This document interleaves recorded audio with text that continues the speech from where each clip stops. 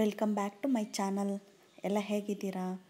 So, ಎಲ್ಲರೂ ನಾವು ಚೆನ್ನಾಗಿರಬೇಕಂದ್ರೆ ನಮ್ಮ ಮನೆಯಲ್ಲಿರೋ ಎಲ್ಲ ವಸ್ತುಗಳು ಕ್ಲೀನಾಗಿರಬೇಕು ಬಟ್ ಫ್ರಿಜ್ಜಲ್ಲಿ ನಾವು ತಿನ್ನೋ ವಸ್ತುನ ಸ್ಟೋರ್ ಮಾಡೋದ್ರಿಂದ ಅದು ಇನ್ನೂ ನಾವು ಸ್ವಚ್ಛವಾಗಿ ಇಟ್ಕೊಳ್ಬೇಕಾಗತ್ತೆ. ಸೊ, ಇವತ್ತು ನಾನು ಫ್ರಿಜ್ ಕ್ಲೀನಿಂಗ್ನ ಹೇಗೆ ಮಾಡೋದು ಅಂತ ಡೀಪ್ ಕ್ಲೀನಿಂಗ್ ಹೇಳ್ಕೊಡ್ತಾ ಇದ್ದೀನಿ. ನನ್ನ ಮನೆ ಫ್ರಿಜ್ ಬಂದು ವೆಲ್ಪೂಲ್. ಸೊ, ಇದರಲ್ಲಿ ಇದಕ್ಕೆ ಬಂದು ಟೆನ್ ಇಯರ್ಸ್ ವಾರಂಟಿ ಕೊಟ್ಟಿದ್ದಾರೆ. ಆಮೇಲೆ ಇದು ಮಾಡಲ್ ಬಂದು D C two fifteen five S two thousand sixteen model. ಮತ್ತು ಟುವೆಲ್ ಅವರ್ಸ್ ಕೂಲಿಂಗ್ ಇರುತ್ತೆ. ಆಮೇಲೆ faster in ice making also. Storage ಬಂದು one hundred and eighty two litres single door. So, ಇದನ್ನು ನಾನು ತ್ರೀ ಮಂತ್ಸಿಂದ ಕ್ಲೀನ್ ಮಾಡಿಲ್ಲ, ತೋರಿಸ್ಬೇಕಂತಾನೆ. ಸೊ ನೋಡಿ ತ್ರೀ ಮಂತ್ಲಿ ನಾನು ಈ ಥರ ಡೀಪ್ ಕ್ಲೀನ್ ಮಾಡಲ್ಲ. ಹಾಗೆ ನಾನು ಕ್ಲೀನ್ ಮಾಡ್ಕೊತೀನಿ ಮೇಲೆ ಮೇಲೆ. ಮತ್ತು ವೀಕ್ಲಿ ನಾನು ಸ್ಟೋರ್ ಮಾಡಬೇಕಾದ್ರಾಗಲ್ಲ ಸ್ವಲ್ಪ ಬಟ್ಟೆಯಲ್ಲಿ ಒರೆಸ್ಕೊಳ್ತೀನಿ ಅಷ್ಟೇ. ಬಟ್ ನಾನು ತ್ರೀ ಮಂತ್ಸಿಂದ ಕ್ಲೀನ್ ಮಾಡಿಲ್ಲ. ಹಾಗಾಗಿ ಇಷ್ಟು ಗಲೀಜಾಗಿದೆ ಸೊ ಅದನ್ನು ನಾನು ನೀಟಾಗಿ ತೋರಿಸ್ಬೇಕಂತಲೇ ತ್ರೀ ಮಂತ್ಸಿಂದ ಕ್ಲೀನ್ ಮಾಡಿಲ್ಲ. ಸೊ ಫಸ್ಟ್ ನಾನು ಏನು ಮಾಡ್ತಿದ್ದೀನಿ ಅಂದರೆ, ಅದರೊಳಗಡೆ ಇರೋ ಎಲ್ಲ ಥಿಂಗ್ಸು ತೆಗೆದು ಹೊರಗಡೆ ಇಟ್ಬಿಟ್ಟು ಮತ್ತು ನಾನು ನೀಟಾಗಿ ಒಂದು ಬಟ್ಟೆಯಿಂದ ಒರೆಸ್ಕೊಳ್ತಾ ಇದ್ದೀನಿ. ಅದು ಆದಮೇಲೆ ನಾನೇ ಮನೇಲಿ ಮಾಡಿರೋ ಒಂದು ಸ್ಪ್ರೇ ಇದು. ಕೋಲಿನ ಸ್ವಲ್ಪ ಇದೆ ಅದರಲ್ಲಿ, ಒಂದು ಸ್ಪೂನು. ಆಮೇಲೆ ಒಂದು ಸ್ಪೂನ್ ವಿನಿಗರು, ಸ್ವಲ್ಪ ಡಿಶ್ ವಾಷರ್ ಅಂದರೆ ಲೆಮನ್ ಅಲ್ಲಿರೋ ಅಂಥ ಡಿಶ್ ವಾಷರ್ ಹಾಕಿದರೆ ಸಾಕು. ಲೆಮನ್ ಹಾಕೋದೇನು ಬೇಕಾಗಿಲ್ಲ. ಸೊ ಇದು ಮೂರನ್ನು ಚೆನ್ನಾಗಿ ಕಲಿಸ್ಕೊಂಡು ಒಂದು ಸ್ಪ್ರೇ ಹೊಡೆದ್ಬಿಡಿ ಅಷ್ಟೇ. ಎಲ್ಲ ಫ್ರಿಜ್ ಒಳಗಡೆ ಫುಲ್ ಸ್ಪ್ರೇ ಮಾಡಿಬಿಡಿ. ಸ್ಪ್ರೇ ಮಾಡಿಬಿಟ್ಟು ಒಂದು ಫೈವ್ ಮಿನಿಟ್ಸ್ ಹಾಗೆ ಬಿಟ್ಟರೆ ಸಾಕು. ಅದು ಜಾಸ್ತಿ ಏನು ಬಿಡಬೇಕಾದ ಅವಶ್ಯಕತೆ ಇಲ್ಲ. ಸೊ ಅದು, ಅದರೊಳಗೆ, ಅಷ್ಟರೊಳಗೆ ನಾವು ಈ ಫ್ರಿಜ್ಜಿಂದ ಏನೇನು ಥಿಂಗ್ಸ್ ತಗೊಂಡಿದ್ದೀವೋ ಅದನ್ನು ಸ್ವಲ್ಪ ಹೊತ್ತು ನೆನೆಸೋಕ್ಕೆ ಒಂದು ಪೌಡರ್ ರೆಡಿ ಮಾಡಬೇಕು. ಏನು ಪೌಡರ್ ಅಂದರೆ ಬಟ್ಟೆ ಹೊಗೆಗೆ ಯೂಸ್ ಮಾಡೋ ಪೌಡರೇ ಸ್ವಲ್ಪ ವಾಷಿಂಗ್ ಪೌಡರ್ ಚೂರು ತೊಗೊಂಡು ಒಂದು ಕೋಪಲ್ಲಿ ನೀರು ಹಾಕ್ಕೊಳ್ಳಿ ಅಷ್ಟೇ. ನೀರು ಹಾಕ್ಕೊಂಡು ಕಲಸೋದೇನು ಬೇಡ. ನೀವು ಆ ನೀರು ಹಾಕ್ಕೊಳ್ತಿರಲ್ಲ ಅದರಲ್ಲೇ ನೊರೆ ಬಂದುಬಿಟ್ಟಿರುತ್ತೆ. ಅಷ್ಟೇ ಸಾಕು. ಅಷ್ಟರಲ್ಲೇ ನೀವು ಮಾಡಿಕೊಂಡ್ರೆ ಸಾಕು. ನೋಡಿ, ನಿಧಾನವಾಗಿ ನೀರು ಬಿಟ್ಕೋಬೇಕು. ಅದರಲ್ಲಿ ಏನು ನೀರು ಬಂದಿರುತ್ತೋ ಅದನ್ನೇನು ನೀವು ಡೈಲ್ಯೂಟ್ ಮಾಡ್ಕೋಬೇಡಿ. ಹಾಗೇ ನೋಡಿ ನೀರನ್ನ ಸ್ವಲ್ಪ ಚಿಮ್ಮಿಸಿ ಅದ್ರ ಮೇಲೆಲ್ಲ ಎಲ್ಲ ಫ್ರಿಜ್ಜಿಂದ ತೆಗ್ದಿರೋ ಎಲ್ಲ ಸ್ಟ್ಯಾಂಡ್ಸ್ನು ಅದೇ ಥರ ಮಾಡಿ. ಜಸ್ಟ್ ನೀವು ಕೈಯಲ್ಲೇ ಈ ಥರ ಮಾಡ್ಕೊಂಡ್ರೆ ಸಾಕು. ಅದು ಕಡೆ, ಅದೆಲ್ಲ ಕಡೆ ಹರಡೋ ಥರ ಮಾಡ್ಕೊಳ್ಳಿ ಅಷ್ಟೇ. ಆ ಸೋಪ್ ನೀರಲ್ಲಿ ಜಾಸ್ತಿ ಏನು ಸೋಪ್ ನೊರೆ ಬೇಕು ಅಂತ ಏನಿಲ್ಲ, ಬರೀ ಅಷ್ಟು ನೀರಲ್ಲಿನೇ ನೀವು ಮಾಡಿಕೊಂಡ್ರೇ ಸಾಕು.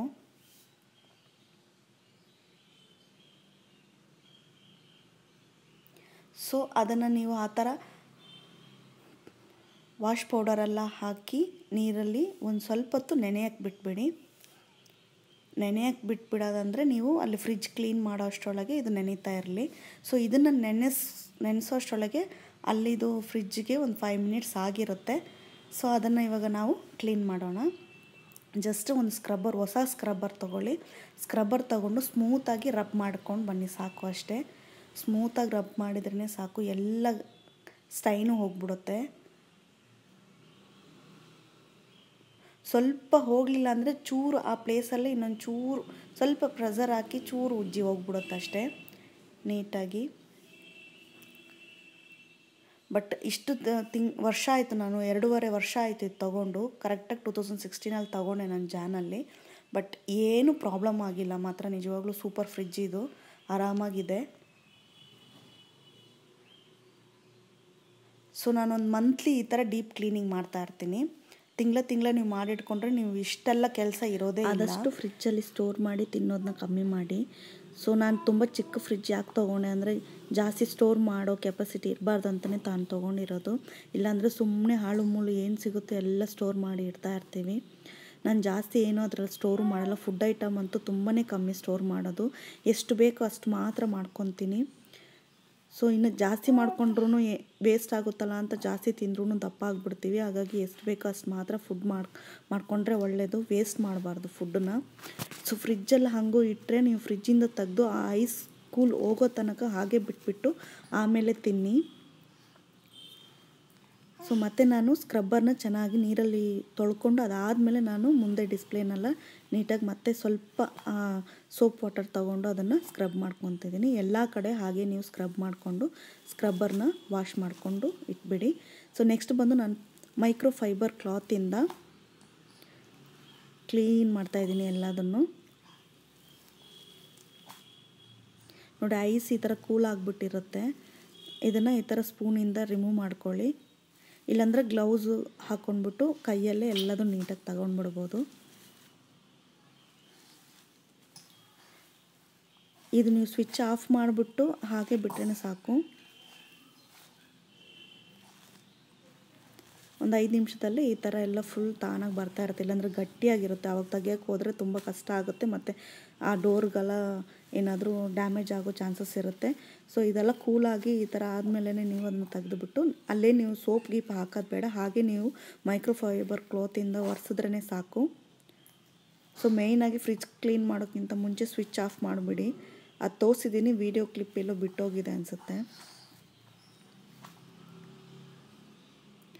ಮೈಕ್ರೋ ಫೈಬರ್ ಕ್ಲಾತಿಂದನೇ ಎಲ್ಲ ನಾನು ಕ್ಲೀನ್ ಮಾಡ್ಕೊತಾ ಇದ್ದೀನಿ. ಸೊ ಅದಾದಮೇಲೆ ಮೇಲೇನೂ ಅಷ್ಟೇ ಎಲ್ಲ ಕಡೆಯೂ ಕ್ಲೀನ್ ಮಾಡ್ತಾಯಿದ್ದೀನಿ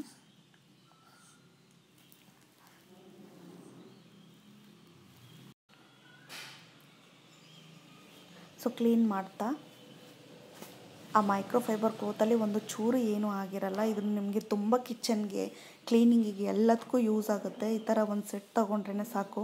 ಅಮೆಝಾನಲ್ಲಿ ಈಸಿಯಾಗಿ ಅವೈಲೇಬಲ್ ಇದೆ ಮೈಕ್ರೋಫೈಬರ್ ಕ್ಲಾತು ಚೆನ್ನಾಗಿ ಆಫರು ಕೊಟ್ಟಿದ್ದಾರೆ. ಸೊ ಸ್ಕ್ರಬ್ಬರ್ನು ನೀಟಾಗಿ ತೊಳೆದುಬಿಟ್ಟು ಮೈಕ್ರೋ ಫೈಬರ್ ಕ್ಲಾತ್ನು ನಾನು ಸ್ವಲ್ಪ ಸೋಪ್ ವಾಟರ್ ಹಾಕಿ, ಹಾಗೆ ನೆನೆಸಿ ನೆ, ಇಟ್ಬಿಡ್ತಾ ಇದ್ದೀನಿ. ಅದು ಸ್ವಲ್ಪ ಹೊತ್ತು ನೆನೆಯೋ ತನಕ ನಾನು ಇದನ್ನು ಸೋಪ್ ವಾಟರ್ ಏನಿದೆ ಅದರಲ್ಲಿ ಅದರಲ್ಲೇ ನಾನು ಇದನ್ನು ಸ್ವಲ್ಪ ಚೆನ್ನಾಗಿ ತೊಳ್ಕೊಳ್ತಾ ಇದ್ದೀನಿ. ಇದನ್ನು ಫಸ್ಟ್ ಸೋಪ್ ವಾಟರಿಂದ ಚೆನ್ನಾಗಿ ಸ್ಕ್ರಬ್ ಮಾಡ್ಕೊಂಡ್ಬಿಡಿ. ಅದೇ ಹೊಸ ಸ್ಕ್ರಬ್ಬರ ಯೂಸ್ ಮಾಡಿ. ಏನು ಸ್ಕ್ರ್ಯಾಚಸ್ ಏನೂ ಆಗೋಲ್ಲ. ನಿಧಾನ ಆದಷ್ಟು ನಿಧಾನವಾಗಿ ನೀವು ಉಚ್ಕೊಂಡ್ರೇ ಸಾಕು. ಎಲ್ಲ ಕೊಳೆಗಳು ಹೋಗ್ಬಿಟ್ಟಿರುತ್ತೆ ಆರಾಮಾಗಿ. ಸೊ ಇವಾಗ ನಾನು ಆ ಕ್ಲಾತ್ನ ವಾಶ್ ಮಾಡಿದೆ. ಒಂದು ಚೂರು ಏನು ಸ್ಟೈನು ಕೊಳೆ ಏನೂ ಅದಕ್ಕೆ ಇಲ್ಲ. ಅದನ್ನು ಹಾಗೆ ತೊಳ್ಕೊಂಬಿಟ್ಟೆ ನೆಕ್ಸ್ಟ್ ಇದನ್ನು ನೀಟಾಗಿ ತೊಳೆದ್ಬಿಟ್ಟು ಆರಕ್ಕೆ ಬಿಟ್ಬಿಡಿ ಸೊ ತೊಳೆಯೋಕ್ಕಿಂತ ಮುಂಚೆ ಸಿಂಕ್ ಹತ್ರ ಎಲ್ಲ ಕ್ಲೀನ್ ಮಾಡ್ಕೊತಾ ಇದ್ದೀನಿ. ಯಾಕಂದರೆ ಮತ್ತೆ ಒಂದು ಸ್ವಲ್ಪ ಕೂಡ ಇದಕ್ಕೆ ಏನು ಕೊಳೆ ಬೀಳಬಾರ್ದು. ಹಾಗಾಗಿ ನೀಟಾಗಿ ಅಲ್ಲಿರೋ ಎಲ್ಲ ಸೋಪ್ ವಾಟರ್ನು ಎಕ್ಸಿಸ್ ಸೋಪ್ ವಾಟರ್ ಎಲ್ಲ ಕ್ಲೀನ್ ಮಾಡಿ ನಾನು ಸಿಂಕ್ ಒಳಗೇ ಹಾಕ್ಕೊತಾ ಇದ್ದೀನಿ. ಅದಾದಮೇಲೆ ಇದನ್ನೆಲ್ಲ ವಾಶ್ ಮಾಡಿ ಆದಷ್ಟು ಬಿಸಿಲಲ್ಲಿ ಒಣಗಿಸ್ಬೇಕು ನಾವು ಇದನ್ನು. ಯಾಕಂದರೆ ಫುಡ್ಡನ್ನು ಸ್ಟೋರ್ ಮಾಡೋ ಐಟಮ್ಮು ಚೆನ್ನಾಗಿ ಒಣಗಿದ ಮೇಲೆ ನಾವು ಫ್ರಿಜ್ ಒಳಗೆ ಇಡಬೇಕು. ಆವಾಗಲೇ ತುಂಬ ಚೆನ್ನಾಗಿ ಕ್ಲೀನಾಗಿರುತ್ತೆ ನೋಡಿ, ಈ ಥರ ಹೊರಗಡೆ ನಾನು ಬಿಸಿಲಲ್ಲಿ ಒಂದು ಟವಲ್ ಹಾಕಿ ಅದ್ರ ಮೇಲೆ ಎಲ್ಲದನ್ನೂ ಜೋಡಿಸ್ತಾ ಇದ್ದೀನಿ. ಈ ಥರ ಜೋಡಿಸ್ಕೊಂಡು ಒಂದು ಹಾಫ್ ಆನ್ ಅವರ್ ಬಿಟ್ಟರೆ ಸಾಕು. ನೀರೆಲ್ಲ ಡ್ರೈನ್ ಆಗಿರುತ್ತೆ. ಮತ್ತು ಬಿಸಿಲಲ್ಲಿ ಚೆನ್ನಾಗೂ ಒಣಗಿರುತ್ತೆ. ನಿಮಗೆ ಬಿಸಿಲೇ ಅದ್ರ ಮೇಲೆ ಬೀಳಬೇಕಂತಿಲ್ಲ. ಸ್ವಲ್ಪ ಲೈಟ್ ಬಿಸಿಲು ಬಿದ್ರೇ ಸಾಕು. ಏನೇ ಫ್ರಿಜ್ಜಲ್ಲಿ ಇಟ್ಕೊಂಡು ನೀವು ತಿಂದ್ರೂ ಮಿನಿಮಮ್ ಫುಡ್ಡ ಕುಕ್ ಕುಕ್ ಮಾಡಿರೋ ಫುಡ್ಡೆಲ್ಲ ಮಿನಿಮಮ್ ನೈನ್ ಅವರ್ಸ್ ಒಳಗೆ ತಿನ್ಬಿಡಿ. ತರಕಾರಿ ಐಟಮೆಲ್ಲ ಒಂದು ಫೋರ್ ಫೈವ್ ಡೇಸ್ ಇಟ್ಕೋಬೋದು. ಸೊ ಕ್ಲೀನ್ ಮಾಡಿ ಇಟ್ಕೊಂಡ್ರೆ ಒನ್ ವೀಕ್ ಕೂಡ ಸ್ಟೋರ್ ಮಾಡ್ಕೋಬೋದು. ಆದಷ್ಟು ಫುಡ್ ಕುಕ್ಡು ಫುಡ್ಡೆಲ್ಲ ಜಾಸ್ತಿ ದಿನ ಇಟ್ಕೊಂಡು ತಿನ್ನಬೇಡಿ ಫ್ರಿಜ್ ಒಳಗೆ. ತುಂಬ ಚಿಕ್ಕದು ತೊಗೊಂಡ್ರೇ ನಮಗೆ ತುಂಬ ಆರೋಗ್ಯಕ್ಕೆ ಒಳ್ಳೆಯದು ಸೊ ಅಷ್ಟೇ ಎಲ್ಲ ಎಷ್ಟು ಕ್ಲೀನಾಗಿ ಹೋಗಿದೆ ನೋಡಿ, ಒಂದು ಚೂರು ಎಲ್ಲೂ ಸ್ಟೈನ್ ಇಲ್ಲ. ತುಂಬ ಈಸಿ ಫ್ರೆಂಡ್ಸ್ ಫ್ರಿಜ್ ಕ್ಲೀನ್ ಮಾಡೋದು. ಸೊ ನೋಡ್ತಾ ಕ್ಲೀನಾಗಿದ್ದರೆ ಅಷ್ಟು ಚೆನ್ನಾಗಿರುತ್ತೆ ನಮಗೆ ಫ್ರಿಜ್ ನೋಡೋದಕ್ಕೇ ಅಷ್ಟೇ ನೋಡಿ, ಮತ್ತು ಅದ್ರ ಪ್ಲೇಸಲ್ಲಿ ಅದನ್ನು ಸ್ಟೋರ್ ಮಾಡಿಬಿಡಿ. ಸೊ ಅಷ್ಟೇ ಮುಗೀತು. ಸೊ ಇದೇನು ಕಷ್ಟ ಇಲ್ಲ. ಒಂದು ಹಾಫ್ ಆನ್ ಅವರ್ ತಿಂಗಳಲ್ಲಿ ಒಂದು ಹಾಫ್ ಆನ್ ಅವರ್ ಇದಕ್ಕೆ ಸ್ಪೆಂಡ್ ಮಾಡಿದ್ರೆ ಸಾಕು. ಕ್ಲೀನ್ ಆಗಿಬಿಡುತ್ತೆ. ಸೊ ಈ ವಿಡಿಯೋ ನಿಮಗೆಲ್ಲ ಹೆಲ್ಪ್ಫುಲ್ ಆಗಿದೆ ಅನ್ಕೊತಿರ್ತೀನಿ. ಈ ವಿಡಿಯೋ ನಿಮಗೆ ಇಷ್ಟ ಆದರೆ ಸಬ್ಸ್ಕ್ರೈಬ್ ಮಾಡ್ಕೊಳ್ಳಿ, ಶೇರ್ ಮಾಡ್ಕೊಳ್ಳಿ, ಲೈಕ್ ಮಾಡೋದನ್ನ ಮರಿಬೇಡಿ. ಒಳ್ಳೆಯ ಆಹಾರ ತಿನ್ನಿ, ಆರೋಗ್ಯವಾಗಿರಿ. Take care bye